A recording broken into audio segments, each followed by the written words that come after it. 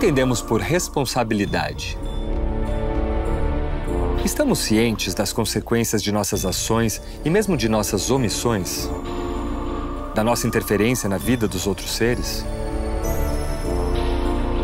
Nos tornamos capazes, em virtude da nossa própria obra, de destruir a nós mesmos e ao planeta em que habitamos. Desaparecer. Diante desse excesso de poder, torna-se urgente ampliar os horizontes da responsabilidade repensar o nosso estar no mundo. Essa série traz uma reflexão filosófica sobre a ética do agir humano, com a contribuição do direito, da política, da psicanálise, da cultura. O século XX foi marcado por uma sucessão de violências. Duas grandes guerras mundiais, genocídios, massacres, foram milhões de mortes nos quatro cantos do planeta. E a destruição não parou por aí. Não são apenas armas e guerras que causam vítimas. São também obras e megaprojetos que continuam a devastar a natureza e a dizimar comunidades e culturas locais. Vítimas de desastres e suas mortes não podem ser em vão. Como lidamos com esse acúmulo de violência? Como fica a memória dos mortos e desaparecidos? Surge a necessidade de discutir e pensar o papel do testemunho ouvir os que ficaram enterrados na história. Minha proposta é pensar o conceito de testemunho como uma chave para se pensar essa nova ética da responsabilidade e do cuidado. Né? Por que eu fiz essa proposta de falar de testemunho? Qual a importância do testemunho? O que é esse testemunho? Né? Infelizmente, o testemunho se tornou importante por conta de uma série de acúmulos de violências que aconteceram, sobretudo a partir do início do século XX. Né? Quer dizer, nós temos aí 100 anos a partir da Primeira Guerra Mundial, onde nunca tantas pessoas foram massacradas pela técnica e, portanto, pela ciência, por um modelo, né, por um modo de produção que produz esses genocídios e essas mortes. A gente não pode dissociar o que acontece no mundo das grandes estruturas né, políticas e econômicas. Desde a Primeira Guerra Mundial, na Segunda Guerra Mundial, não precisa lembrar, evidentemente, do Holocausto judaico, cigano, eh, todos os massacres também que foram promovidos pelos totalitarismos né, ao longo do século XX, que nós conhecemos, o Gulag, né, as bombas atômicas. Então, todos os lados, quer dizer, não existe o lado bom e o lado, é, o, e o lado ruim, malvado nessa história. Né? Lamentavelmente, isso é um fenômeno é, de todo o planeta, essa violência, que gerou essa necessidade, então, de se inscrever essa violência. E é aí que surge o testemunho. E por que o testemunho é importante? Porque a partir da abertura para o testemunho, da recepção dessa, dessa inscrição, seja ela oral, seja ela escrita ou artística, imagética, né?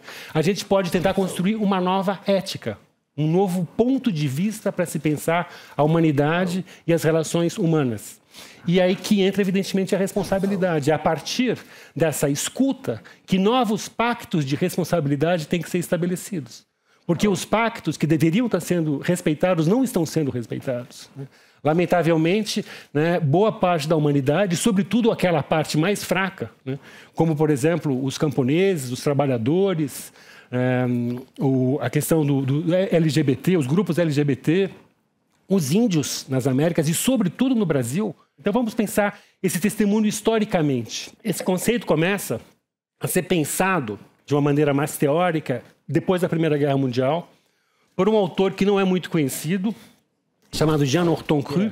A teoria dele é que só quem viveu a guerra no fronte sabe o que é a violência da guerra. E ele então coletava diários de amigos, é, cartas, o que ele podia reunir como documento. Ele reuniu, ele fez um, um, enorme arquivo da Primeira Guerra Mundial. E esse livro chamado Témoin, Testemunhos, de 29, é um livro que ele tenta, então, interpretar esse material testemunhal para construir essa contravisão do que é a guerra. A guerra não é essa coisa heróica, a guerra não constrói nada de bom, a guerra é pura violência, morte e destruição. Né? Mas o Jean Norton ele era um positivista, o, o, a metodologia dele é uma metodologia que estabelecia uma série de hierarquias que hoje em dia nós consideramos equivocadas, mas ele deu o um primeiro passo. É interessante que, poucos anos depois, Walter Benjamin escreveu um, um texto que é o narrador Nesse texto, o Benjamin vai falar que esse monte de textos que foram produzidos depois da guerra, na verdade, expressam uma enorme incapacidade de inscrição do que foi esse fenômeno. Porque ele, ele, ele defende a tese que essa experiência foi uma experiência tão radical que as pessoas perderam a voz, eles ficaram emudecidas. Né? Teve um, um, um, desrespeito tão grande a todas as convenções sociais que existiam na convivência, né, do, do viver comum, que as pessoas simplesmente não sabiam como escrever aquela catástrofe. Uma geração que ainda fora à escola num bonde puxado por cavalos, encontrou-se sob céu aberto numa paisagem em que nada permanecera inalterado, exceto as nuvens. E debaixo delas, num campo de forças de torrentes e explosões destruidoras, o frágil e minúsculo corpo humano. É a partir desse frágil e minúsculo corpo humano que nós temos que passar a pensar essa ética da responsabilidade e do cuidado. Não a partir desse homem prometeico, desse homo faber que constrói grandes empresas, grandes projetos, megaprojetos que vão engolindo a terra, engolindo os trabalhadores, né? E, e cuspindo né, lixo e cuspindo toda essa destruição que a gente conhece, que foi acumulada ao longo, sobretudo, dos séculos XIX e XX. Né? E é interessante que aqui nesse texto do Benjamin tem uma espécie de uma nova antropologia, uma nova ele delineia uma nova visão do homem, que é esse homem antiprometeico, que é esse homem justamente do cuidado e que precisa de ser cuidado, que não é o homem arrogante, é o homem que é modesto, humilde, né? que lembra também uma visão de homem, uma antropologia freudiana. Porque o Freud, por exemplo, também no, no, começo dos anos 30, tinha inibição, sintoma e medo, né, ou, ou, angústia, né, angst. Ele tinha falado também, ele, ele, disse, ele falou do, do, do desamparo e da dependência do pequeno ser humano. Ele vai pensar o homem a partir desse desamparo e dessa dependência. Então, é um novo projeto ético que está por detrás dessa nova visão do ser humano. Não como um ser humano que é esse empreendedor, esse homo faber, arrogante, que nós lamentavelmente temos eles como os nossos políticos né, da hora, né? mas pelo contrário, esse, esse, ser humano que reconhece a fragilidade como sendo intrínseca né, à, à, humanidade. Né? E então essa a essa antropologia corresponde também então uma crítica radical da visão de progresso, da visão da história como uma, uma um, um, contínuo eh, evoluir né, positivamente e ascendente. Né? Para que falar de progresso a um mundo que afunda na rigidez cadavérica? deve-se fundar o conceito de progresso na ideia de catástrofe. Que tudo continue assim. Isso é a catástrofe. Ela não é o sempre iminente, mas sim o sempre dado. A catástrofe deve ser vista como o contínuo da história. A catástrofe é o progresso, o progresso é a catástrofe. Então, essa visão do Benjamin, né, que culmina numa ideia de que nós devemos olhar a história de costas do que a gente chama de futuro, deveríamos olhar a história da humanidade para perceber essa história desse acúmulo dessas catástrofes, dessas violências. O Benjamin vê a história da humanidade como uma história de violências, porque ele vê a história da humanidade do ponto de vista dos vencidos. E os vencidos sempre existiram e sempre foram a maioria. Né? Daí construção de uma outra ética que vai valorizar esses que sempre estiveram por debaixo. Né? Daí a ideia dele de escovar a história contra pelo. É isso que é escovar a história contra pelo ou a ideia também de que, ele, de que todo documento de cultura deve ser visto como um testemunho da barbárie. Um monte de pessoas que foram, por assim dizer, sacrificadas para criar esses lindos objetos de cultura. A gente tem que perceber que tudo na, na cultura, na verdade, é muito ambíguo. Mesmo as realizações mais é, é, aprimoradas e maravilhosas da história cultural, né? vamos lembrar das pirâmides, dos grandes prédios, etc., das grandes realizações das grandes cidades, por detrás de tudo isso tem um monte de cadáver, né? um monte de pessoas que foram sacrificadas para se construir tudo isso, e essas são as esquecidas. Né? A teoria benjaminiana é que se nós aprendermos a olhar para essas faces, a escutar o testemunho dessas pessoas, a gente vai construir um outro modelo de ética, um outro pacto social, né? um outro pacto de convivência. Vamos reaprender a construir o comum, porque hoje a gente aprende só a viver na maneira, no modo egoísta da individualidade né, e, da, e da competição. Né? O Georges Perec, nascido na Polônia, que perdeu o pai na luta, que lutou contra o exército nazista, ele era de uma família judaica, e a mãe foi deportada para Auschwitz.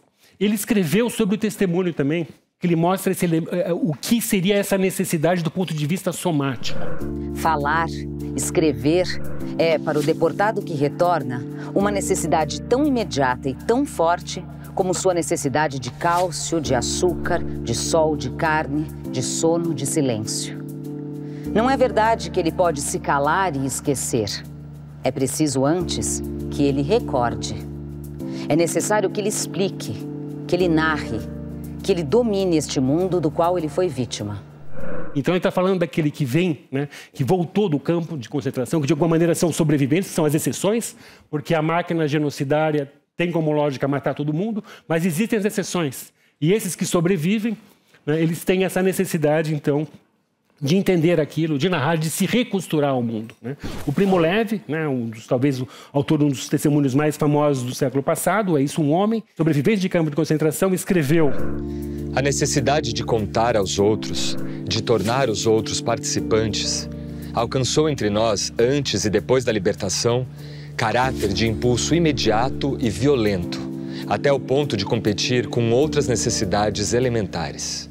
O, o Primo Levi também formulou que é, quem viveu o campo de concentração, é, se, se, ele chegou no fundo do poço, ele usa, utiliza aquela imagem da, da, da medusa. Se ele olhou nos olhos da medusa, ou ele morreu ou ele ficou emudecido. Então, essa ideia de que só conseguiam narrar também aquelas pessoas que de alguma maneira ficaram distantes desse fundo do poço. Essa conexão com os outros, com o mundo, né? ligar aquele, aquele outro universo, que era o universo concentracionário, né? o que chamavam também de planeta Auschwitz, tamanha a, a exceção que vivia dentro desses locais, com esse mundo extra campo de concentração. Né? O, o testemunho vai fazer esse trabalho de religamento. Né? E nisso também permite que a humanidade veja a, a qual ponto chegou né, a violência no século XX. Lamentavelmente, não só durante a Segunda Guerra Mundial, porque o campo de concentração, como o Agamben, né, entre outros, já formulou, se tornou lamentavelmente uma espécie de paradigma da política do século XX. Né? No próximo bloco. Como pensar né, novos parâmetros para essa sociedade depois de tanta catástrofe, depois de tanta violência.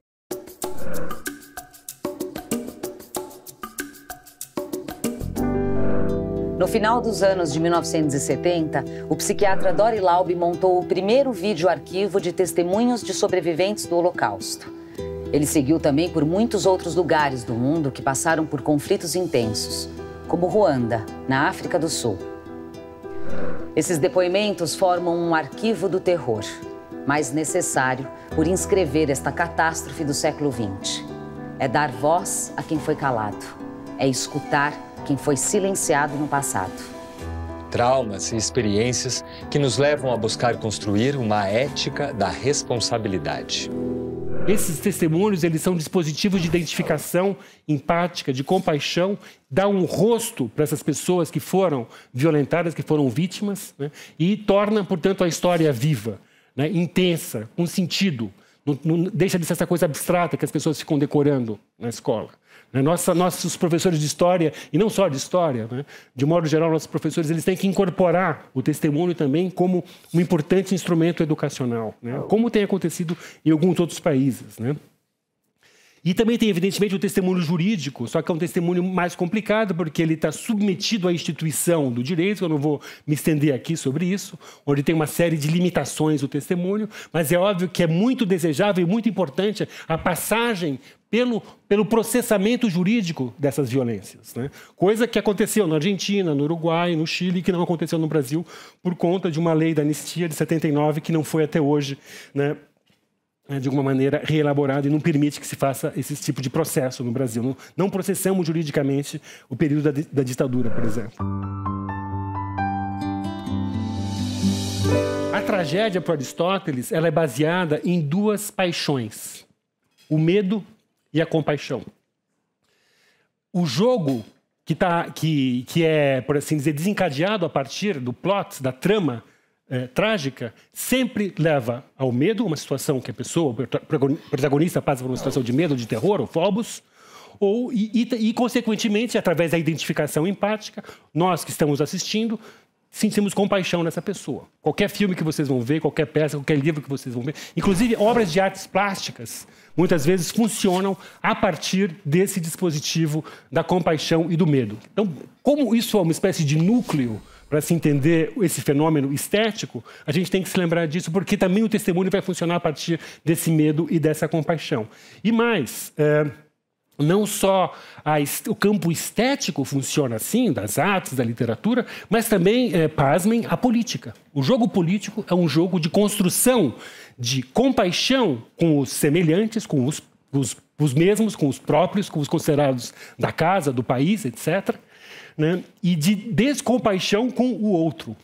Isso é uma coisa super importante, gente, porque a gente está falando aqui justamente da construção daqueles que merecem ser protegidos, ser salvos e dos que não merecem, dos que vão ficar de fora, por assim dizer, né, desse, desse cobertor, que é o cobertor da cidadania, que é o cobertor da compaixão, que é o cobertor, é, é, enfim, das leis e etc. Né? Temos compaixão dos que nos são semelhantes na idade, no caráter, nos hábitos, nas dignidades, na origem, porque em todos esses casos é mais evidente a possibilidade de também nós sofrermos os mesmos reveses. E, em geral, devemos admitir também aqui que tudo quanto receamos que nos aconteça causa compaixão quando ocorre aos outros. Tem um elemento, portanto, da proximidade, da identificação, que marca a, a, compaixão, tem um elemento reflexivo. A compaixão, de certa maneira, sempre tem a ver com nós mesmos. Temos compaixão com o outro, mas tem a ver com nós mesmos. Tem esse momento da volta reflexiva sobre nós mesmos na compaixão. É muito ambígua porque é uma construção compassiva, sim, mas ela é ambígua porque ela estabelece também o espaço do outro, do outro que não merece nenhum tipo de compaixão. Né? Na história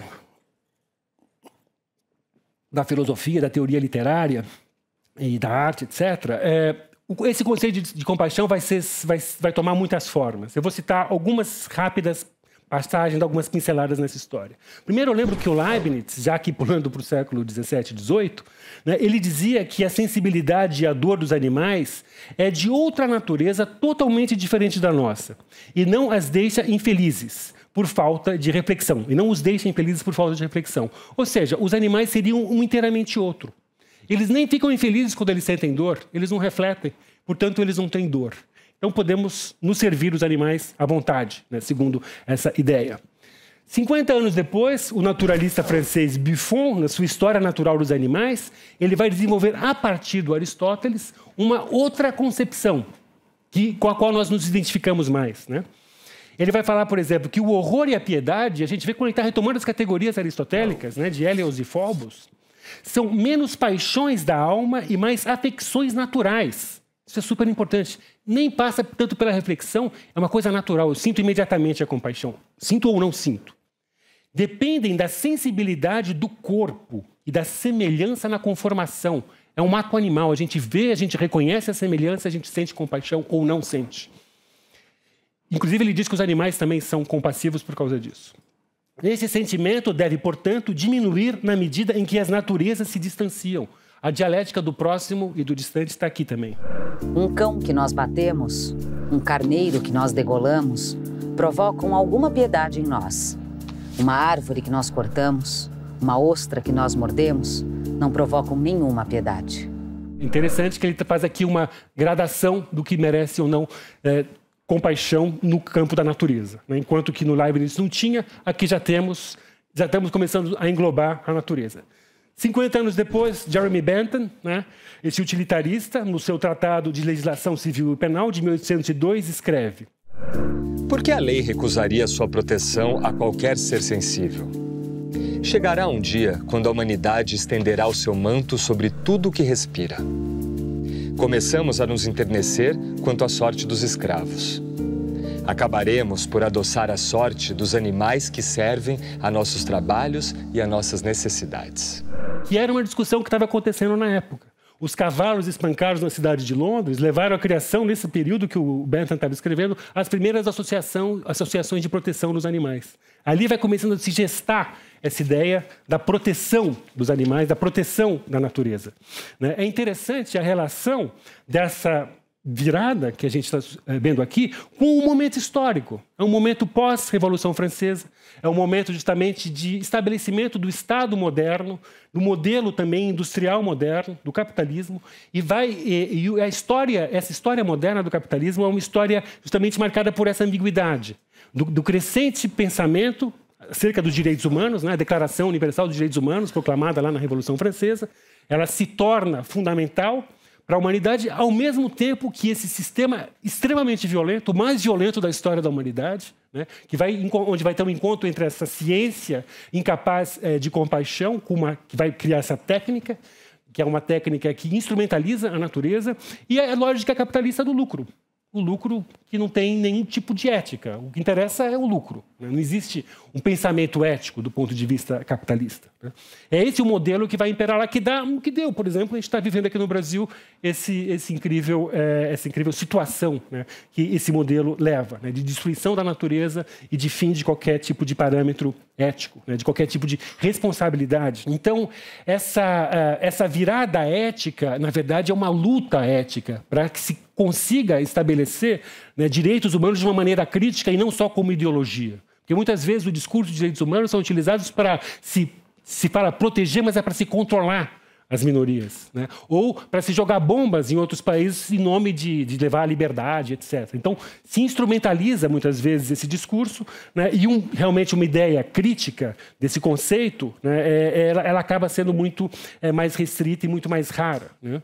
É, esse momento no século XX, quer dizer, nesse, nesse caminhar dessa, desse sistema, dessa violência que vai ser aberta pela, pela Primeira Guerra Mundial, vai levar aquilo que o Benjamin falou, né, do final da narrativa que a gente já viu aqui, e ao que o Lyotard vai falar depois da Segunda Guerra Mundial, Jean-François Lyotard, do fim das grandes narrativas explicativas, né, dos grandes discursos filosóficos. Né? Então, essa crise também do esclarecimento que o Adorno e o Horkheimer vão detectar durante a Segunda Guerra Mundial. Né? Então, a gente vê como existe um vazio, inclusive filosófico, reflexivo, como pensar né, novos parâmetros para essa sociedade depois de tanta catástrofe, depois de tanta violência. Né? Como, então, eu me pergunto hoje em dia, estruturar essa nova ética? Como dar espaço para esses testemunhos? É, quem fala, por exemplo, em nome da natureza? Que está sendo massacrada. No próximo bloco. A angústia é aquilo que a gente vive hoje em dia. Estamos angustiados porque nós estamos sob o signo dessa destruição.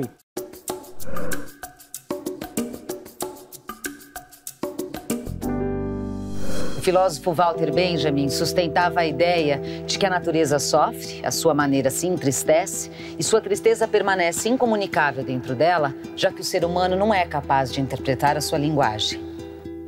Por ser muda, a natureza decaída é triste. Mas a inversão dessa frase vai mais fundo na essência da alegoria. É a sua tristeza que a torna muda. Em todo luto existe uma tendência à mudez que é infinitamente mais que a incapacidade ou a relutância de comunicar-se. É a tristeza da natureza que a emudece. Por isso que a gente não consegue mais escutar a natureza. A gente tem que aprender, de alguma maneira, a escutar a partir desse silêncio, né? esse rumor que é esse lamento né, da natureza. Né? E também a gente tem que pensar um novo, novos modelos de trabalho, porque, evidentemente, é esse modelo de trabalho que foi entronizado no início do século XIX que levou né, toda essa questão da, da angústia, da alienação, e, e, da destruição da natureza, porque a natureza é destruída junto com os trabalhadores que estão ali na ponta, por assim dizer, dessa, dessa máquina capitalista né, que instrumentaliza e transforma a natureza só em meio de acumular capital. Né? Então, o próprio Benjamin, como vocês já perceberam, era um grande poeta, né? ele era não só o filósofo dos poetas, mas ele era um poeta filósofo também. Né? Ele tem uma passagem muito bonita onde ele fala de um tipo de trabalho que é um trabalho que redime, que não é o trabalho que nos torna escravos, que nos torna alienados. Né? Ele escreveu inspirado no Fourier, que era um, um, um, um pensador utópico do começo do século XIX, francês. Né? Ele fala, segundo Fourier, é, é uma passagem poética, vocês têm que entrar na viagem. Segundo Fourier, o trabalho social bem organizado teria entre seus efeitos que quatro luas iluminariam a noite que o gelo se derreteria nos polos, que a água marinha deixaria de ser salgada, que os animais predatórios entrariam a serviço dos seres humanos. Essas fantasias ilustram um tipo de trabalho que, longe de explorar a natureza, é capaz de liberar as criações que dormitam como possibilidades em seu ventre. Ao conceito corrompido de trabalho, corresponde como seu complemento aquela natureza que, segundo o pensador social-democrata Joseph Dixgen, está aí, grátis. Então, esse conceito né, de trabalho né, que, que que é, que é corrompido, né, que tem a natureza só como instrumento, é, tem a ver então com essa ideia de, de, destruição da natureza, de utilizar a natureza só como meio. O Hans Jonas apresenta a nossa visão que dura até hoje, né, é, da natureza como algo que está aí grátis para a gente poder se apropriar dela, utilizar do jeito que a gente quer. Nós somos, na verdade, os reis né, de, toda, de, de toda a criação e tudo mais foi criado para nós é, utilizarmos. Né? Daí também é, a necessidade de se pensar uma outra técnica. Né? E é novamente com Benjamin que a gente vai poder pensar conceitos interessantes de técnica. Ele falava, por exemplo, na Rua de Mão Única, né? dominação da natureza, assim ensinam os imperialistas, é o sentido de toda técnica. Então, o conceito tradicional de técnica é dominar a natureza. Mas essa visão ele contrapõe uma outra. A técnica não é dominação da natureza, é dominação da relação entre a natureza e a humanidade. Então, a técnica passa a ser um momento dialógico e não um momento né, de, de, de, submissão, né, de utilização é, da natureza de uma maneira é, que a, simplesmente a expolia. Né? Também dialogando com o marxismo, ele vai pensar uma ideia que é maravilhosa, que tem tudo a ver com essa ideia de construir uma nova ética do cuidado e uma ética da responsabilidade. Eu cito: Marx afirma que as revoluções são as locomotivas da história do mundo. Né? A gente vê aqui que, novamente, o Marx ele, ele se encaixava, de certa maneira, no modo de pensar da burguesia, que acreditava nesse progresso. Né? Então, revoluções como locomotivas. Mas talvez, continua o Benjamin, isso seja totalmente diferente. Talvez as revoluções sejam o freio de emergência da humanidade que viaja nesse trem. O Hans Jonas, justamente com a sua ética da responsabilidade, toma para si também essa tarefa de desenvolver essa nova ética, de pensar essa nova técnica, de pensar uma uma, é, uma construção dessa, desse viver em comum para além né, desse homo faber e da sua técnica arrogante, né, da sua técnica que é, não, não, não, respeita as relações humanas e as relações, é, as relações de trabalho e as relações com a natureza. Né? Então ele vai falar de uma heurística do medo com relação ao futuro. Né? E, e, e trata-se de ter medo e não angústia. Né? Ele, ele, ele, faz essa diferenciação que é importante. Né? É, por quê? Porque a angústia é aquilo que a gente vive hoje em dia. Estamos angustiados porque nós estamos sob o signo dessa destruição. Né? É, e, e, esse medo do, com relação ao futuro seria um medo produtivo, né? profilático, no sentido de construir essa ética voltada para os pósteros. Só que aqui a gente tem que voltar à nossa pequena aula sobre compaixão. É muito abstrato você exigir da humanidade que ela fique olhando para esse futuro, pensando nos pássaros que nem nasceram e tenha compaixão com relação a eles. Então, acho que é interessante a gente juntar aqui Hans Jonas com essas lições benjaminianas que eu falei para vocês e pensar numa ética do presente, que é essa ética do cuidado benjaminiano que a gente viu aqui, e essa ética de olhar para trás. Né? Olhar para trás e, e ver esse, esse painel terrível da história da violência, criar empatia com essa história da destruição, o Benjamin dizia, é muito mais efetivo do ponto de vista da construção de uma mentalidade transformadora e revolucionária do que você olhar para o futuro e pensar num futuro redimido. Ele estava pensando numa crítica a um determinado modelo tanto social-democrata quanto burguês, porque a burguesia, né, o nosso governo, inclusive hoje, vamos cortar, vamos mudar as relações de trabalho, vamos flexibilizar, modernizar, que na verdade é uma volta ao século XIX. Eles vendem esse pacote e o fim da Previdência, eh, prometendo um futuro melhor. Assim, os, as próximas gerações, gerações vão ser mais felizes. E, e, assim vai, gente. A gente vai estar sempre se sacrificando pelo futuro. O Benjamin falou: não, é muito mais inteligente a gente olhar para trás e ver justamente a história dos sacrifícios e da violência, para aí sim construir uma nova prática, né, que não permita permita que esse tipo de ideologia se repita e essa prática, sobretudo, se repita. Eu gostaria de, de, de, de lembrar um conceito que eu acho muito importante do Benjamin, a diferença entre o que ele chama de primeira técnica e segunda técnica. Né? A segunda técnica seria justamente essa técnica da confraternização com a natureza, né? desse dialógica. Né? Enquanto a primeira técnica ele vê como tendo como fim a morte. A primeira técnica é sacrificial, né? ela é violenta, ela, ela sempre vai trazer mais morte. Então, a ética vai ser esse jogo da proximidade e da distância, da distância na proximidade, da proximidade da distância. E é isso que é a ética. Né? Justamente você tem essa questão da responsabilidade e do respeito com relação também ao outro se abrir para o outro, se aproximar, mas também saber manter essa distância é, respeitosa. A origem da segunda técnica deve ser buscada onde o ser humano, com uma astúcia inconsciente, chegou pela primeira vez a tomar uma distância em relação à natureza. Em outras palavras, ela encontra-se no jogo. A primeira técnica realmente pretende dominar a natureza. A segunda prefere muito antes um jogo conjunto entre natureza e humanidade. Nós aqui no Brasil, a gente tem que lembrar que as nossas culturas ameríndias já fazem isso há milênios. Né? Eles estão aí há no mínimo 20 mil anos, né, segundo os antropólogos, e não destruíram né, um centímetro de natureza nas Américas. Enquanto essa nossa nova técnica já praticamente destruiu tudo que existia né, de, da, das nossas florestas, dos rios. Essa destruição dessa técnica é tão é, é, é, é, é um assinte. E se a gente coloca isso ao lado dessa técnica, dessa, que a gente pode chamar como mesmo dessa segunda técnica, que é, a população ameríndia já desenvolvia há milênios, a gente vê quanto que a gente pode aprender com os índios, em vez de, de, de destruí-los, de matá-los, de produzir esse genocídio. Né? Quer dizer, é, a gente sabe que cerca de nove em cada dez indígenas foram assassinados na história do Brasil.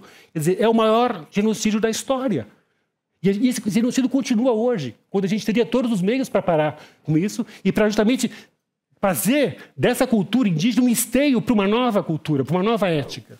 Né? A pluralidade de etnias no Brasil, são mais de 300 etnias, mais de 270 línguas. Quer dizer, a cultura indígena brasileira, por si só, é infinitamente mais rica do que toda a cultura não indígena no Brasil. É de uma complexidade que a gente demoraria séculos e séculos para se aproximar dela. E, em vez de fazer isso, a gente destrói. Né? Assim como a floresta amazônica também, quer dizer, que é destruída né, dia a dia. No próximo bloco. A questão do luto daquelas pessoas que não puderam ser enlutadas, que não foram enterradas, que é o tipo de luto mais difícil, porque não teve essa elaboração primária, principal, que é o, o, o ritual do enterro.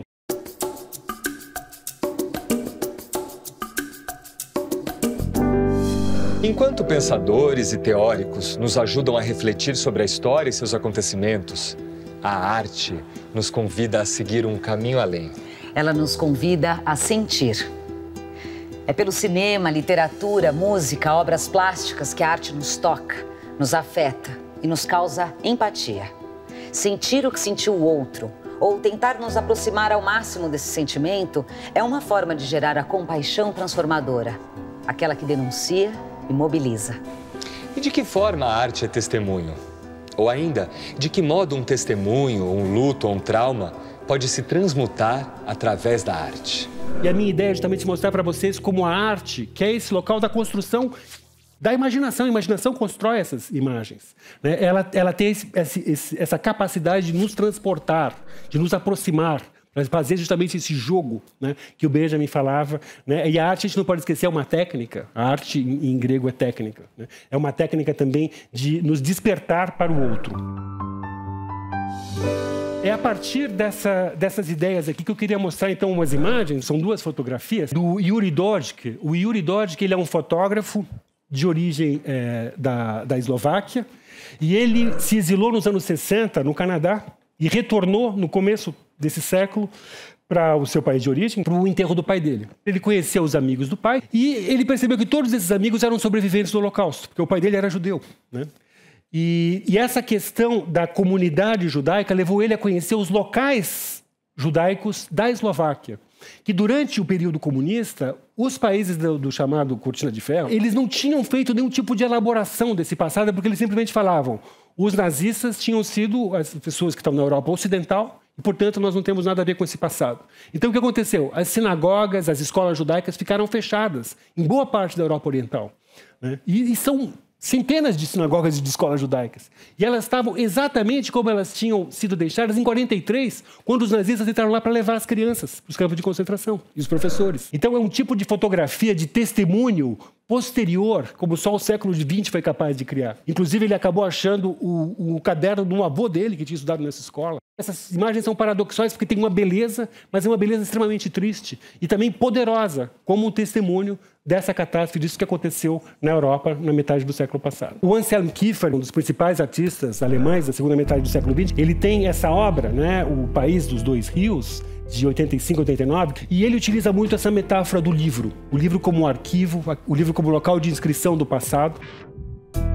Isso é a Naomi Teresa Salomon, que foi simplesmente contratada para fotografar objetos encontrados em campos de concentração na Polônia. Justamente elas transformam esses objetos banais né, em testemunhos poderosos do que aconteceu nesses locais. Então, o próprio fato de, de ser um, um, pente quebrado, né, tudo é eloquente nessas fotos. A luz está estourada, tem a ver também com uma espécie de, de supervisão ou de invisibilidade, dificuldade de se ver que ela vai trabalhar. Essa questão da precarização das imagens é muito característica desse tipo de arte da memória do trauma. Né? É uma estética da ruína, não é uma estética da construção de narrativas ou de metáforas. Daí também a fotografia ser muito importante nessa arte é, da memória é, ética que se desenvolveu nas últimas décadas a partir dessa história de violência do século XX e do que se continua e continua no século XXI. Aqui a gente tem o Marcelo Brodsky, que é um grande fotógrafo e artista argentino. Ele ampliou uma fotografia da formatura dele e ele escreveu o que aconteceu com cada um dos colegas dele. Um círculo vermelho e um risco. São dois que foram mortos, são vítimas da, da ditadura. Vários estão marcados que foram exilados. Outros foram presos e torturados. Tem a ver com o trabalho de luto. A questão do luto daquelas pessoas que não puderam ser enlutadas, que não foram enterradas, que é o tipo de luto mais difícil, porque não teve essa elaboração primária, principal, que é o, o, o, ritual do enterro. Pessoas não são enterradas no século XX. Existe a figura do campo de, de extermínio, existe a figura dos desaparecidos na América Latina. Então, esse luto é um luto que fica em suspenso. E esses artistas vão atrás desse luto. Isso é uma obra de um artista chileno, ele mora nos Estados Unidos há muitos anos, é, essa série ela tem a ver com as nossas pautas, que tem a ver justamente com a construção da empatia. Se vocês leem jornal, revistas, veem a televisão, vocês vão ver que é, os editores, né, os jornalistas, eles constroem é, é, esse teatro da compaixão. Com quem vamos nos identificar e com quem não. E isso tem uma importância, porque isso constrói identidades. Isso constrói essa, é, essa capacidade e incapacidade de compaixão.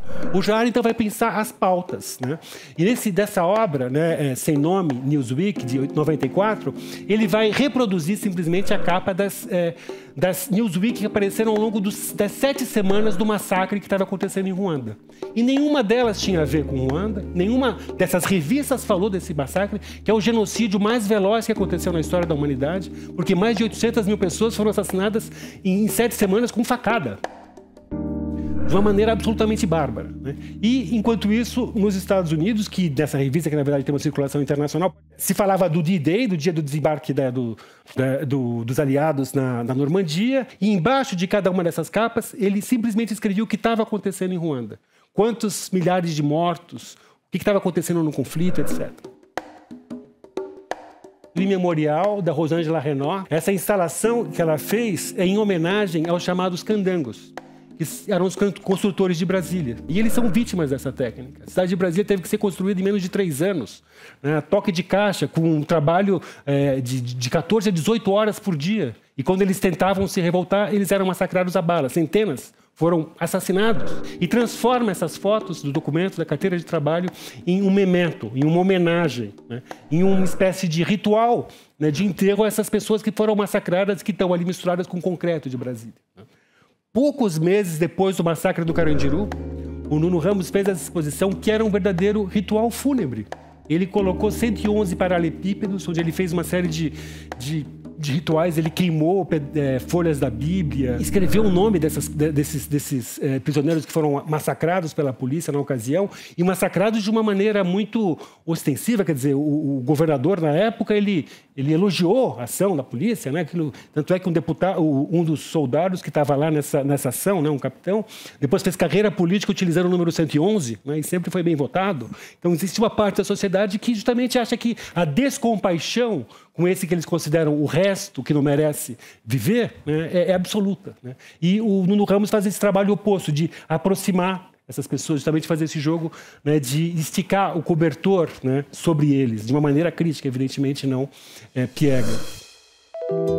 Essa também é uma artista uh, maravilhosa, fortíssima, uma grande fotógrafa, Cláudia Andujar. Ela trabalhou com os Yanomami e ela também é um caso de artista, pesquisadora, etnóloga. Né? Ela viveu durante anos da vida dela entre os, os índios. São fotos de uma enorme força, de um enorme apelo estético e compassivo, mas elas têm uma origem muito simples. Eram fotos para prontuário médico desses Yanomami, que não era muito fácil você saber qual o nome deles nos anos 70 e eles estavam morrendo é, por conta das epidemias, do contato com os brancos, e, e, eles, inclusive, eles mudam de nome ao longo da vida, então, por questões ritualísticas, da cultura Yanomami. Então, como não dava para você ter um nome na, né, nessa, nesse prontuário médico, ela teve a ideia, né, junto com os médicos é, que estavam é, lá no, com os Yanomami, de estabelecer esses prontuários com esses números. E esse trabalho dela tinha a ver com uma, um engajamento político na luta pela demarcação do território Yanomami, que ela acabou ajudando, a, a, a, inclusive, a fazer essa demarcação.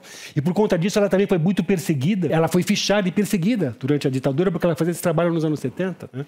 É, elas têm essa, essa, esse caráter da, daquele que diz a verdade, né? do paresiasta, como diz o Foucault, né? lembrando essa figura da antiguidade, daquele que ousa dizer a verdade. E esse dizer a verdade implica também em ferir certas pessoas ou certas camadas da sociedade que não querem aquela verdade. Um elemento que perpassou o módulo o tempo todo foi aquele de que a nova dimensão da responsabilidade que nós vivemos nos nossos dias, ela decorre de um aumento exponencial do poder, justamente do Homo Faber, que foi potencializado pela, pelo desenvolvimento tecnológico. E justamente esse aumento exponencial do poder mediado pela técnica incrementa um novo sentido de responsabilidade justamente em face da capacidade de destruição uhum. que ele traz consigo. Ora, a sua intervenção nos mostra o outro lado da medalha. Não o surgimento de uma nova dimensão da responsabilidade pelo incremento extraordinário do poder, mas o surgimento de uma nova dimensão da responsabilidade pelo correspondente aumento exponencial do sofrimento e da desgraça. Uhum. Isto que coloca o testemunho como um operador uhum. fundamental entre a responsabilidade, por um lado, e os nossos projetos de ação, por outro lado. Não se trata aqui de uma espécie de reconhecimento do perigo inerente à magnitude do poder, mas da força do apelo, da dor, do sofrimento e da destruição que o testemunho enuncia de, de várias formas, entre elas, justamente, aquela da ressignificação artística. Como trazer o despertar para os nossos representantes políticos e sociedade tão individualista e perturbadas com seus próprios interesses, desejos e problemas. É, essa empatia com o nosso passado e corrigir o nosso futuro e presente. A tua pergunta, muito obrigada, é essencial, porque isso também é um aspecto do Hans Jonas, da teoria dele é, da responsabilidade. Ele vai chamar atenção para o fato de quando a gente está falando dessas gigantescas catástrofes ambientais, a gente está falando de agentes também estatais. Evidentemente, individualmente, nós podemos atuar em ONGs, indo a manifestações, participando na internet de redes, abaixo-assinados, etc. Mas a gente tem que justamente cobrar do Estado, que é o agente, né, que tem tudo a ver com essas grandes catástrofes ambientais, né, e que pode também ajudar a barrá-las ou construir um outro modelo de progresso, um outro modelo de técnica. Então, eu acho que a, a, a o que a gente pode fazer justamente é pressionar esses políticos. Né? O despertar tem a ver com, com escrever sobre isso, fazer obras de arte, os artistas fazem sobre isso, cada um na sua área, enfim. Né? Mas tem uma questão que é muito importante que você levantou aqui, é que os políticos estão diretamente envolvidos nisso. Quer dizer, essa cobrança ela também tem que ser feita diretamente a eles, que eles são os grandes agentes dessa, é, dessa, desses megaprojetos. Eu gostaria de lembrar mais uma vez aqui Hans Jonas. O Jonas concedeu uma entrevista à revista Der Spiegel e essa entrevista tem um nome bastante característico que é mais próximo do final catastrófico. A ideia era que, bem, para que nós possamos pensar na possibilidade de uma técnica respeitando a, a natureza e também as outras espécies e os outros homens, seria preciso que nós pudéssemos imprimir em larga escala uma renúncia né, generalizada ao consumo e ao hedonismo tão característico das nossas sociedades, particularmente das sociedades tecnologicamente desenvolvidas, situadas no, no centro do sistema produtivo internacional. E que isso seria utópico. Né? Então, a pergunta que foi feita mais ou menos por volta do final da entrevista era: bem, mas, bom, isso.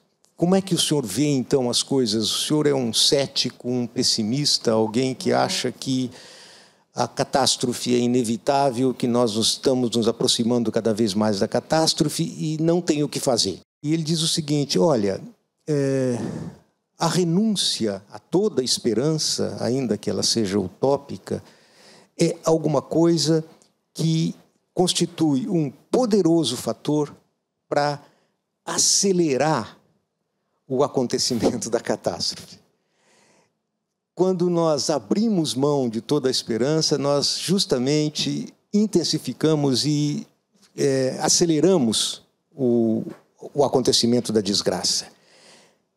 O que eventualmente pode, é, se não impedir, pelo menos retardar que a catástrofe aconteça, é pensar que ela seria evitável. Existe sempre alguma coisa em nós que pode se revelar surpreendente no último momento e, em particular, em momentos de grande perigo. Isso é historicamente demonstrado que, em momentos onde nós estamos no fio da navalha, na beira do abismo, nós somos capazes de nos ressignificar, de nos reinventar de alguma maneira. Isto torna possível que a partir de um sentimento coletivo de responsabilidade e solidariedade, nós adquiramos ou possamos adquirir ou tomar uma nova postura até então não conhecida na ética. Ao invés de um cálculo prévio sobre custos e benefícios de se agir ou não se agir em tal ou tal direção, nós deveríamos reconhecer um dever que se alimenta da nossa responsabilidade perante o fato de que há uma chance de que agir desta maneira pode, se não acelerar, pode, se não retardar, ou se não evitar a catástrofe, pelo menos retardá-la ao máximo. Mais reflexões no site e Facebook do Instituto CPFL e no canal do Café Filosófico no YouTube. Os índios é, um, é, uma questão que eu acho que a gente tem que enfatizar muito. Eles estão sendo massacrados. Lamentavelmente, é um genocídio que a gente está realizando aqui no Brasil e nós temos que nos levantar contra isso.